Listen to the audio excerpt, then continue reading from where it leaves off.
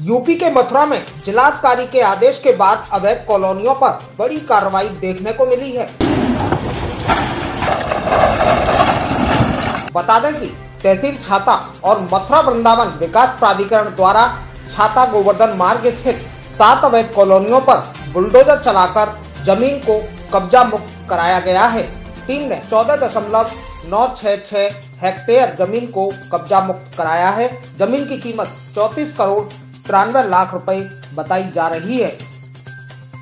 उप जिलाधिकारी छाता श्वेता ने बताया कि Capital Home Care Real Estate, SDS Infra Promoters, Devbhoomi Society, Dhanuka Society Keshav Dham Society Radha Krishna Bihar Colony और शुभ लाभ ग्रुप द्वारा निर्माणाधीन और अवैध कब्जों को मुक्त कराया गया है।